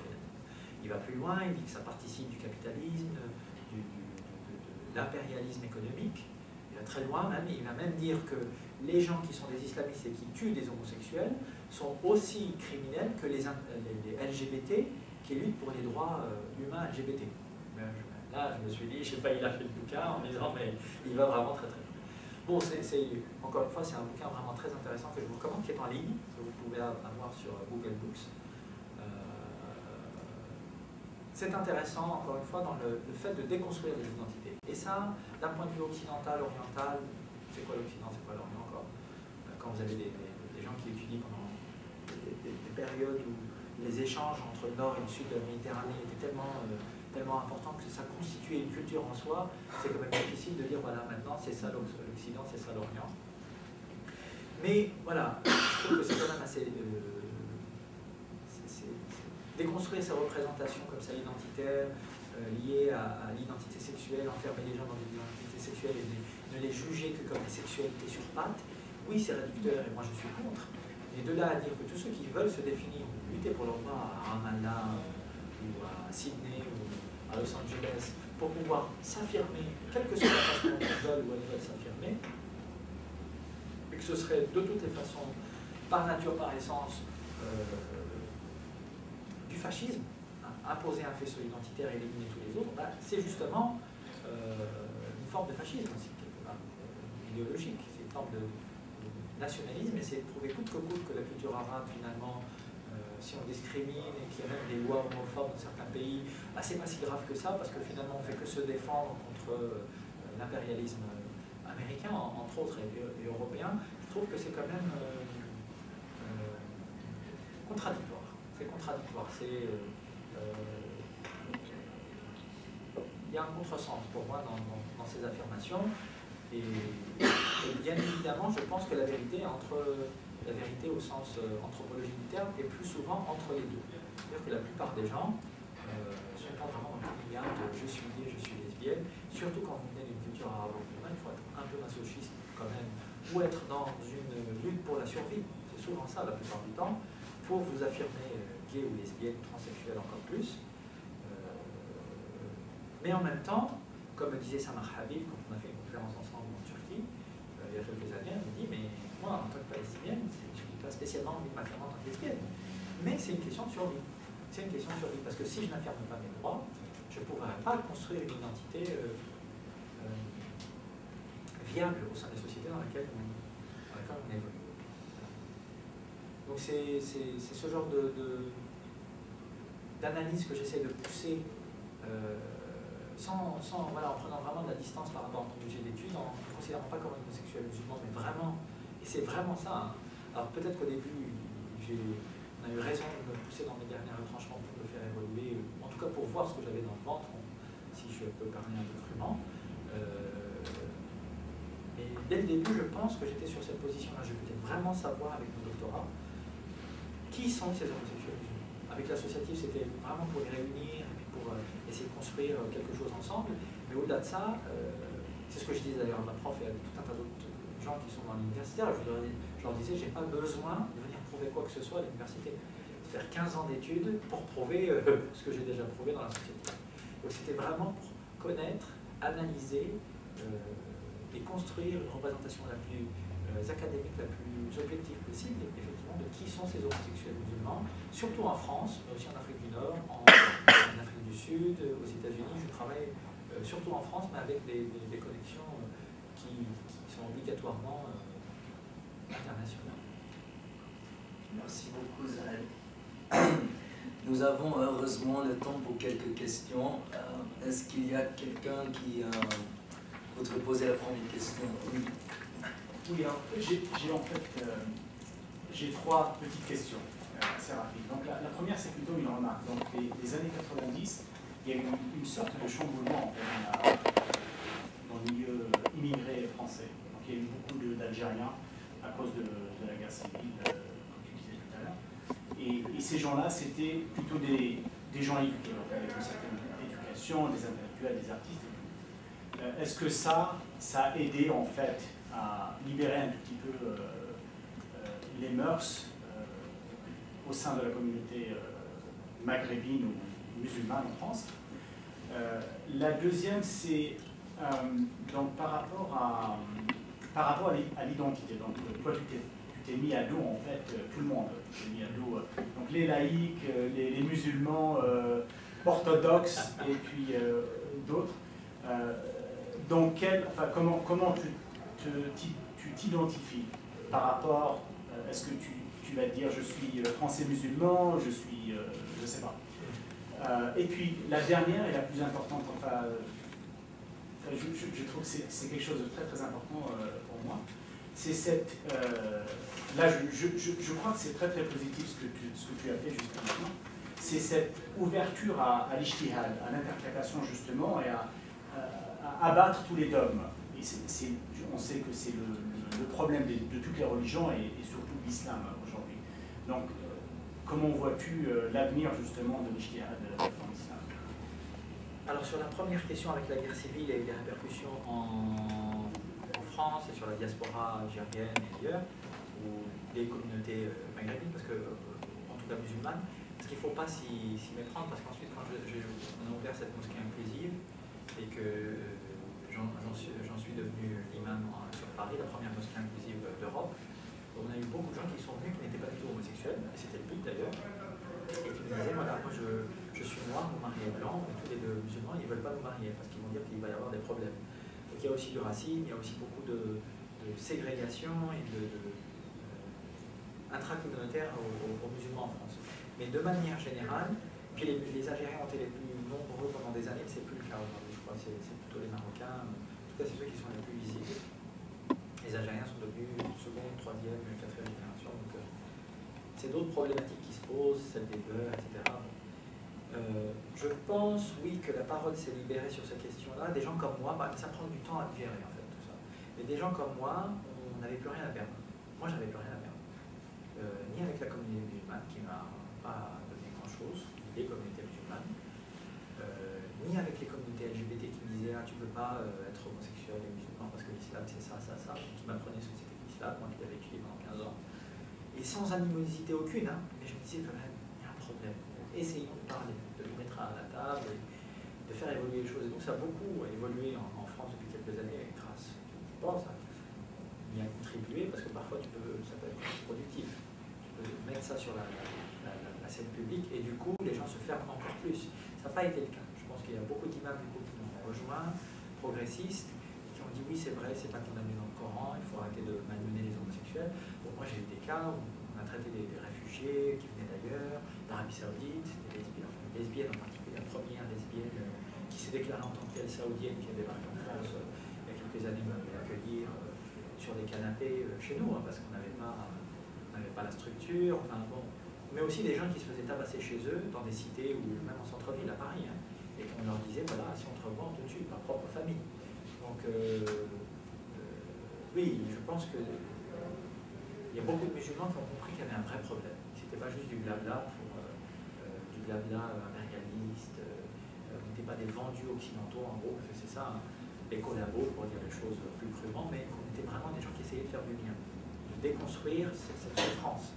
Et puis de dire aussi aux gens qui sont de confession musulmane, grâce à nous, on va arrêter de dire que tous les musulmans sont homophobes, donc on vous rend service. Après que vous pensiez ce que vous voulez, ça c'est la liberté de conscience de chacun, tant que ça n'atteint pas ma liberté à moi de pratiquer ma religion ou pas, parce que si j'ai envie de rejeter ma religion, c'est pas toi de m'imposer, dans ma famille. Euh, voilà, donc je pense que de ce point de vue-là, effectivement, on n'avait plus rien à perdre et il y avait tellement de tensions en Algérie, en Afrique du Nord de manière générale, mais aussi en France sur ces questions-là, l'identité nationale, tout ça, qu'il y a un moment, et c'est ça qui a été fédérateur je pense que c'est comme ça qu'on décrit notre action. Et on me dit parfois c'était très malin, très. C'est un autre terme qu'on a utilisé. Une de mes collègues euh, qui n'était pas très très contente de tout ce qu'on faisait d'ailleurs, parce qu'elle, elle voulait prouver que l'islam était homophobe et, et qu'il n'y avait rien à négocier. Euh, Astucieux, peut-être? Non, non, euh, plus. Rusé. Oui, un truc comme ça. Rusé ou. Ah, tiens, on va faire un peu de français. Les synonymes. C'était très malin, rusé, quelque chose comme ça c'était très futé, habile de faire ce que je faisais, c'est-à-dire de, lier le débat euh, euh, euh, citoyen à la question de la laïcité et ce qu'on devrait tous faire. Ça tombe sous le sens, mais c'était quelque chose de nouveau. On était parmi les premiers musulmans à l'avant-garde à faire ce genre de choses. parce que la plupart des autres, même Tarek Ramadan ou Tarek Oubro, qui sont des, gens très connus en, France, assez progressistes quand même, sur ces questions-là, ils avaient du mal à s'en sortir. Ils étaient, comme je le dis, dans la schizophrénie, c'est-à-dire l'islam c'est magnifique, mais dès qu'on arrive à la liberté individuelle, on bloque, parce qu'on n'arrive pas à déconstruire, ce, à se réapproprier le corpus islamique de ce point de vue-là, du point de vue l'ijtihad, en mêlant l'engagement citoyen, je n'ai pas eu le temps d'en parler, mais Habermas par exemple, Jürgen Habermas ou, ou euh, Joan Tronto, euh, qui travaille sur le Caire aux États-Unis. Euh, je ne sais pas si certains d'entre vous sont familiers avec ce genre de, de référence sociologique, presque philosophique, mais Habermas par exemple est une grande référence en, matière d'engagement citoyen. L'engagement citoyen qui fait évoluer les choses dans le bon sens pour toutes les, communautés, pour la communauté nationale, en France, parce qu'on dit qu'il n'y a pas de communauté en France, et puis pour euh, euh, euh, la nation, si on est dans un État, dans une nation comme aux États-Unis ou ailleurs. La deuxième question, c'était sur. C'est par rapport à, l'identité en fait. L'identité. Comment, oui, comment tu, tu, t'identifies? Ah voilà, j'ai un peu répondu sur l'ijtihad, donc ça c'était la troisième question je pense qu'effectivement, il y a eu d'autres personnes qui étaient avant-gardistes et féministes, et la plupart des féministes, il faut le savoir, n'ont jamais parlé d'homosexualité, parce que déjà parler de droits des femmes, c'était déjà énorme dans les années 90, euh, dans le monde arabe musulman. Fatima Mernissi, qui était une des premières, mais il y en a bien d'autres, euh, n'ont jamais parlé de ces questions-là, quasiment jamais. Euh, on peut leur reprocher, bon, temps, elles ont fait ce qu'elles ont fait, elles ont servi d'exemple à nous le faire aussi, et la génération qui suit. sur la question de l'identité, tu peux reposer tes questions, pardon. Comment je me définis? Euh, Peut-être ça, parce que j'ai pas envie de répondre que j'oublie. Euh, oui, c'est une question difficile pour moi, parce que, comme je l'ai dit en début de, présentation, je me suis découvert français une fois que je suis venu aux États-Unis, ce qui est quand même. Euh, parce que je racontais toute ma vie. Alors, ça prenait 5 minutes. Et là, on me dit oui, d'accord, d'accord, t'es français. Au suivant. Et, c'est là où je me suis dit, ça m'a fait.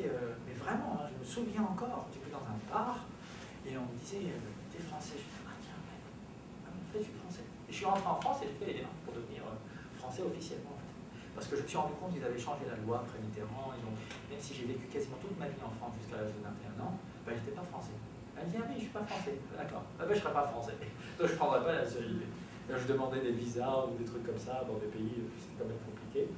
Euh, c'est plus pratique d'avoir la nationalité française. Mais je ne voulais pas l'avoir tant que je n'étais pas convaincu du, fait que bah, j'étais français. Je voulais savoir pourquoi je devenais français. Et j'ai même pris, un prénom français ensuite, parce que effectivement, c'est chez moi, c'est ma culture, etc. Après, je ne veux pas de nationalisme. Moi, je suis contre cette histoire d'appartenance à, à, une nation en particulier. Je pense que euh, l'histoire de l'humanité va évoluer, va dépasser tout ça. Euh, donc voilà, je suis algérien, je suis français, je suis, euh, sud-africain bientôt, j'espère prendre la nationalité aussi là-bas, c'est pour moi. je suis pragmatique en fait, n'y a pas d'attachement particulier à, nationalité. Par contre, à la culture, à, la vie parisienne, par exemple, je connais Paris comme ma poche, donc ça c'est quelque chose qui me plaît beaucoup. Mais à la France en particulier, je me sentirais peut-être plus chez moi ailleurs qu'à Paris, euh, en, Algérie enfin, en Algérie en tout cas plutôt qu'ailleurs qu'à Paris en France. C'est plutôt les, endroits que je me suis appropriés, là où j'ai vécu, où j'ai des souvenirs, où c'est chez moi ça.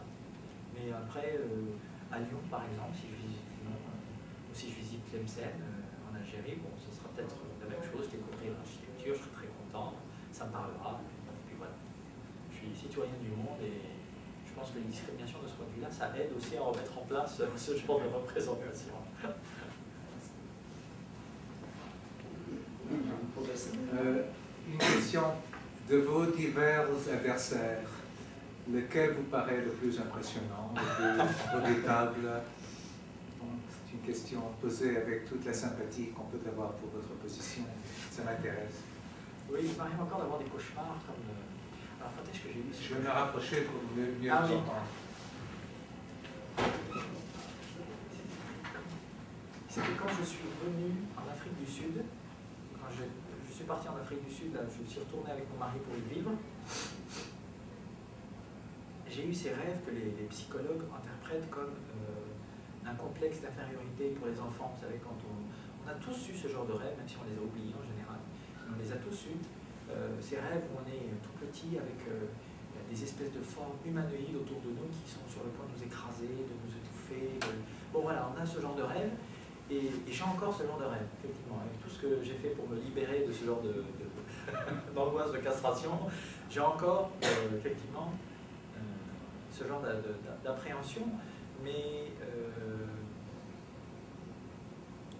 j'ai envie de dire, il n'y a pas grand monde qui fait peur en tant que tel. C'est plutôt la réalisation de moi et puis surtout... Lesquels vous impressionne le plus? Pour lesquels avez-vous le plus de respect, par exemple? Plus de respect. Euh, Tout en s'y opposant.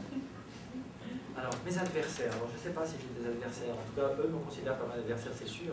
Il y aurait des LGBT qui seraient un peu racistes, qui diraient non, non, non, mais il faut rejeter la religion, et puis les, Arabes, et puis ceci, ce, cela, euh, qui votent Front National par exemple en France, ça, ça peut être des adversaires qui clairement nous ont boycottés, etc. Vous avez des, nationalistes qui, quand on est en, en Israël et en Palestine, nous ont dit vous êtes des sionistes. Donc un coup on était des islamistes, un coup on était des sionistes. Euh, ça, c'est aussi des gens qui considèrent comme des adversaires. Euh, vous avez des islamistes, même si je n'aime pas ce terme, euh, mais parce que le christianisme, judaïsme, c'est pas la même connotation, mais des gens qui sont très dogmatiques et qui vont considérer que les homosexuels sont des pervers, euh, qu'ils ont choisi d'être homosexuels. Ça aussi, c'est des gens qui. je pense que les gens qui me font aujourd'hui encore le plus de mal, ceux qui m'impressionnent le plus, j'ai pas vraiment de respect pour eux. Et j'ai du mal à avoir du respect pour eux. C'est peut-être pour ça que ça m'impressionne le plus. Ce sont les gens de ma famille qui, euh, ont été dans le rejet, dans la menace de mort, etc. Et ça, je me suis dit, c'est des gens qui m'ont éduqué quand même, dont on été très proches. Et euh, oui, ça c'est difficile. La famille. Oui, la famille. Mais vous n'avez pas dit quelque part, je l'ai entendu à la, au web, qu'avec votre père, ça s'est passé autrement. Avec mon père, bizarrement, il m'a euh, menacé pendant 15 ans, secoué, insulté, il a tout fait pour que je devienne un homme, selon ses propres critères. Et mon frère était beaucoup plus violent physiquement là. On m'a cassé la mâchoire, on est à plusieurs reprises. Mais euh, c'est mon père qui ensuite, une fois que j'ai fait mon coming out, comme on dit, euh, a dit à toute la famille, avec des très beaux dans la voix, il leur a dit, il est comme ça, au bord des larmes, il leur a dit, on va l'accepter tel qu'il. Et mon frère, qui était hors de lui, qui était sur le point de, de crier, de, de, faire un scandale, et ça n'a pas, ça n'a pas, il n'a pas donné suite. Donc pour lui, c'était la loi du père qui était de nouveau euh, euh, updated. Voilà.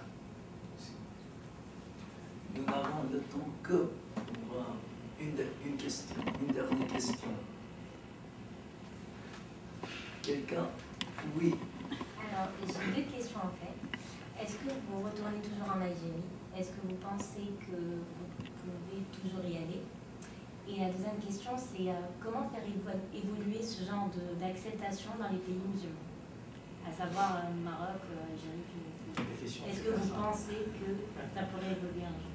Oui, euh, je ne retourne pas en Algérie parce que j'ai 10 ans de prison. Deux ans de prison pour homosexualité.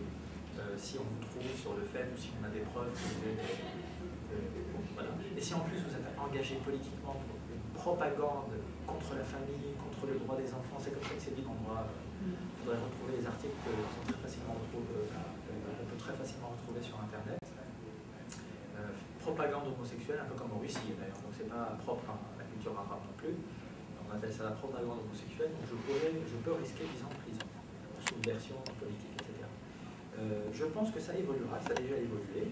Pour le pire, malheureusement, encore une fois, euh, vous avez le Cheikh Imam al-Azhar qui au XVIe siècle écrivait des poèmes homoérotiques pour son jeune mignon, dont il était amoureux, et tout le monde savait que c'était un poème pour son mignon et ça posait pas de problème à l'époque.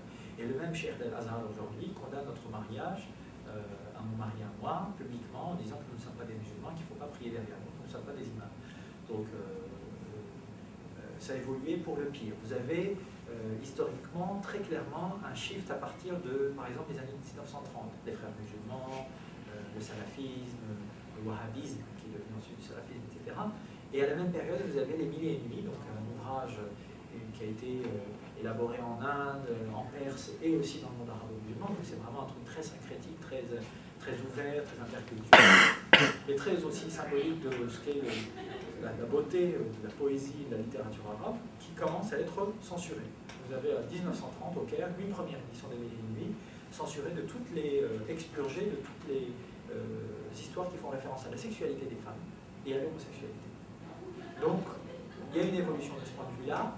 En inverse de ce qu'on voit en, Occident, avec de plus en plus de droits, de plus en plus euh, la décriminalisation, même si les nazis ont déporté et lobotomisé des homosexuels et des lesbiennes des gays durant la guerre, euh, surtout en Allemagne, ça on a la preuve ailleurs, on sait qu'ils ont été déportés, on n'a pas vraiment la preuve euh, formelle, enfin ça se discute entre historiens, spécialistes de la question, est-ce qu'ils ont été aussi lobotomisés? Mais je veux dire, c'est quand même horrible ce qui s'est passé pour les homosexuels. décriminalisation de l'homosexualité en France, 1981, c'était les bonnes Vichy des nazis dernier euh, couple de sodomites à être brûlé vif sur la place de l'Hôtel de Ville à Paris, 1750. Euh, en Grande-Bretagne, 1830 et quelques. Donc, voilà, vous avez tout l'inverse en miroir, euh, évolution inverse, donc dans le monde arabo-musulman, au sein des sociétés arabo-musulmanes. Aujourd'hui, je pense qu'avec le taux d'alphabétisation qui va augmenter, s'améliorer, avec l'émancipation économique, individuelle, familiale, avec voilà, les mariages de plus en plus sur euh, euh, perspective endogame, ça va, ça va évoluer. On a aussi en parallèle l'islamisation de la politique. Tout est politique euh, dans les pays arabo-musulmans. Voilà, Mais comme en, Europe, vous avez eu au XVIIe, XVIIIe, XIXe siècle l'association entre certains disent l'Église catholique et puis la bourgeoisie qui a remplacé la noblesse en disant ben voilà maintenant le mariage ça va être un homme, une femme, des enfants et un chien. Et ça va être un sacrement c'est nous qui décidons qui va se marier. Bon, et aujourd'hui, vous avez en France, pareil, des imams qui vont vous dire tout est politique, tout est religieux, et c'est nous qui décidons qui peut se marier ou pas. Alors que ce n'est pas un sacrement. On a eu divorce depuis toujours en islam, à l'époque où on achetait des femmes, à l'époque de la Jahiliya, donc avant l'islam, avant que euh, certains textes islamiques donnent des droits aux femmes. Pas des droits euh, parfaits, c'est sûr, mais des droits qui doivent évoluer, euh, contrairement à ce que disent les dogmatiques qui disent que tout était dans le Coran déjà à l'époque. Et on avait aussi la polygamie, qui n'est pas rien, mais qui est quand même très très loin du mariage euh, euh, hétérosexuel euh, moderne. Vous mm. voyez Donc je pense que c'est aussi lié toujours à on se sert de telle ou telle idéologie. Ça peut être la religion, mais ça peut être aussi le communisme, qui est une très belle idée. On vit tous ensemble, on partage les biens, et ça donne 30 millions de morts en Chine. Donc il y a un moment, on se dit qu'est-ce qui s'est mal passé Où ça s'est mal passé? J'ai visité le, le Cambodge aussi il y a quelques années. Vous avez dans chaque village un monument mort avec des crânes à l'intérieur, ça ne fait pas dans le dos. Donc je pense qu'on peut tout utiliser, les nazis aussi j'en parlais, qui ont utilisé aussi euh, euh, démocratie sociale, euh, social-démocratie, pour en faire un totalitarisme et un fascisme, de contrôle des identités dans la totalité de l'espace public, c'est ça le totalitarisme, et fascisme, imposition d'un faisceau identitaire et élimination de tous les autres. Donc la religion, pour moi, dogme religieux, c'est une idéologie parmi d'autres, qui peut être utilisée à un moment de crise civilisationnelle, identitaire, à un moment où certains ont besoin de s'accaparer euh, le pouvoir, comme dirait Moscovici, qui est le fondateur de la le père du ministre, l'ancien ministre euh, des Finances, donc euh, fondateur de la psychologie sociale en France, qui a écrit Les minorités actives, la psychologie des minorités actives. Et donc il dit que à certains moments de l'histoire, on s'identifie à l'Église, à l'armée, à l'université aussi, à la police. On peut s'identifier comme ça des institutions sociales, politiques, euh, parfois de manière dogmatique, idéologique, fasciste et totalitaire, pour imposer un ordre social dans des moments où on a besoin de s'identifier à un chef, de renforcer les frontières euh, endogroupes, de rejeter les exogroupes, de, chercher des boucs émissaires en, en, intragroupe. Donc ça, c'est des, des, euh, Vous pensez que les minorités dans ces pays-là vont un jour se rebeller et pouvoir s'affirmer que tout le monde va les accepter? C'est pas se rebeller, c'est plus, plus soft et c'est plus subtil. C'est-à-dire qu'on va arrêter de les, discriminer, qu'elles soient euh, religieuses, ethniques, euh, euh, sexuelles, de genre, etc.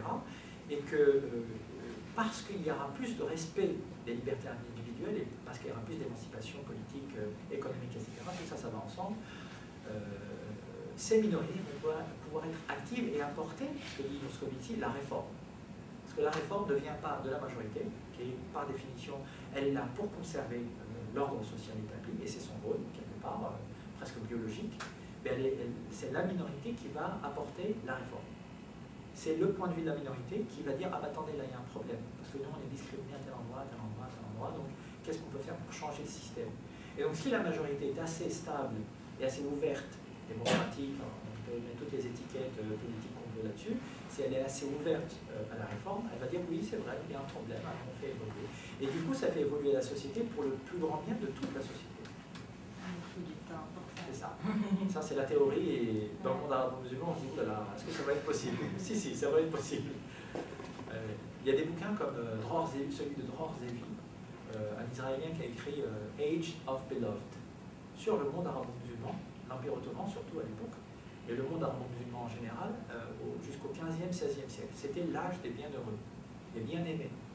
On en est loin aujourd'hui, c'est sûr, mais bon, voilà, un jour peut-être qu'on y reviendra. Merci beaucoup, Zahed. Merci à vous tous d'être venus ce soir. Euh, j'aimerais remercier aussi plusieurs personnes, départements et organisations pour leur soutien. Premièrement, the African Study Center at BU, Greater Boston PFLAG, BU Roman Studies Department, BU Study Abroad, BU International Relations, the BU CES Student Enhancement Fund, and, uh, et aussi uh, uh, Jamel Bekay et Liliane Duzewa pour uh, toute l'aide qu'ils um, nous ont apportée pour l'organisation de cette série de, de, conférences. Mais avant de terminer, j'aimerais inviter Leila Nielsen de Study Abroad pour nous parler un peu de leur programme d'échange. Oui, merci. Bonsoir tout le monde. Euh, comme vous savez peut-être déjà, euh, offre beaucoup d'options différentes pour euh, étudier à l'étranger. Donc, si vous n'avez pas encore pensé aller à l'étranger, je vous encourage de faire. Nous avons plus de 100 programmes différents. Donc, il y a deux programmes en France euh, nous avons des programmes à Grenoble ainsi qu'à Paris. Donc, si vous vous intéressez à, améliorer votre niveau de français, je vous encourage de considérer nos programmes en France. Mais aussi, euh, nous avons des programmes à Rabat, au Maroc, euh, en Tanzanie et en Turquie qui, qui pourraient vous intéresser compte tenu du sujet de cette conférence. Donc, je vous laisse euh, des, fiches sur nos programmes en France. Malheureusement, je n'ai pas de fiches sur les autres programmes que j'ai mentionnés, mais vous pouvez bien sûr trouver des, renseignements sur notre site web aussi. Et si vous avez des questions vous pouvez euh, me poser des questions. Merci. Et une dernière intervention, euh, Miranda Swinen. bonjour tout le monde, bonsoir. Euh, je vais rester ici, mais euh, au début, un grand merci à notre invité de Vexahead pour une présentation tellement intéressante et convaincante. mais je vais vous parler pour quelques minutes au sujet de AFBU et ce qu'on fait comme association. Donc, on a on est une association culturelle et cela a deux côtés. Donc il y a la côté culturel, on, on sort au resto ensemble, on, on, regarde des films, on a des nuits de films, on joue au, ping-pong avec Madame Lucéard. Euh, chaque mercredi, on a la karaoké en français. Donc il y a plein de choses culturelles pour s'amuser, euh, pour les gens qui s'intéressent à la français et à améliorer leur français.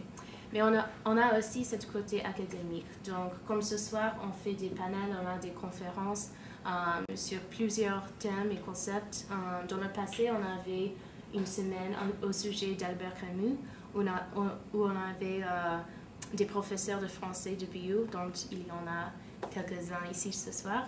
Et puis, on avait aussi, il y a deux semaines, un événement pour la commémoration du génocide rwandais dans le contexte de la littérature et le film. Et puis on vient d'avoir une euh, table ronde des élections municipales en France la semaine dernière. Donc vous pouvez, vous pouvez voir, il y a, euh, il y a beaucoup de choses qu'on fait, euh, culturelles et aussi académiques. Donc je crois qu'il y a vraiment quelque chose pour tout le monde. Et, et, même si vous ne parlez pas le français, si vous vous intéressez dans la culture, vous pouvez trouver quelque chose là-bas. Et vous pouvez nous trouver sur Facebook et aussi euh, à notre email afbu.bu.edu. Merci et bonne soirée.